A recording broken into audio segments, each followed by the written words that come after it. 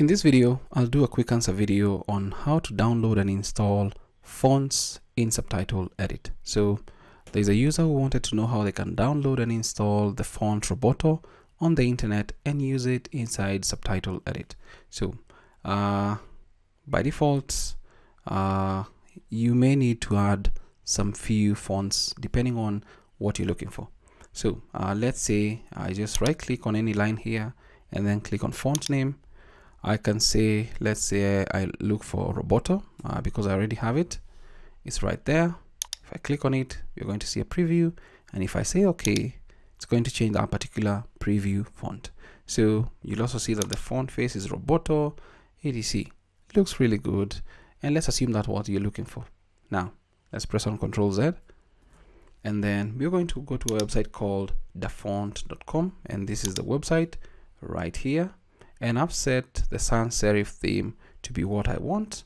And if you look down here you can see that we have the font Roboto this particular one. These fonts are free uh, but let's say we're looking to go maybe with a different font. Let's say maybe uh, Tommy. I don't think I do have Tommy with me. Just click on download. Once you download this is going to come in as a zip file. Click on it. Let's say uh, we go to a regular. It's for personal use. Just double click on this. This is what it looks like. And then click on install. It's called made tommy. Uh, that is what it looks like. Let's just right click and see if we can see it.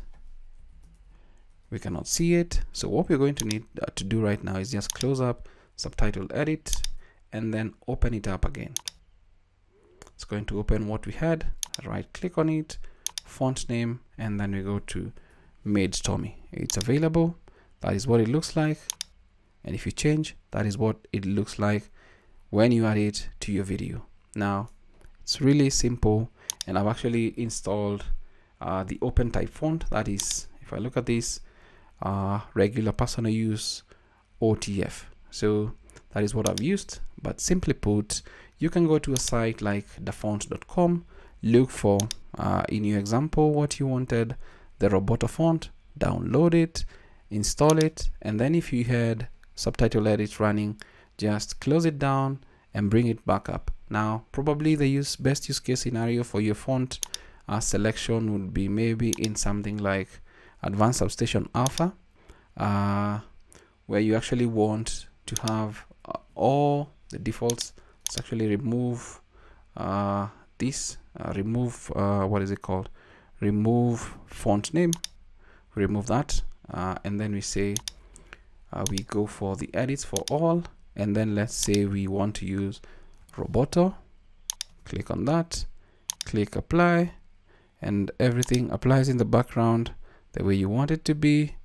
Uh, and it looks uh, really good. You can also do an opaque box if you'd like that. If that is the kind of subtitles that you're looking for and then if you want to ban your videos it's going to look uh, the way you want it to be especially when you use ASSA subtitles uh, or ASS subtitles right inside there. But that's how you can download and install fonts in subtitle edit. I hope this tutorial is of value to you. Thanks for asking